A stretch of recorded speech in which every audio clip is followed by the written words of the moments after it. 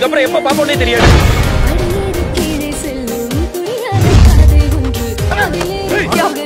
அவங்க அடிச்சாலும் வாங்கிட்டு எனக்கு என் லைஃப்ல இனிமே இல்லவே இல்லை. நான் கட்டின தாலி. என் போன்ல இருந்து நம்மளுக்கு ஒரு மெசேஜ் அனுப்புங்க பிராந்தன் ஓடி வந்துடுவான்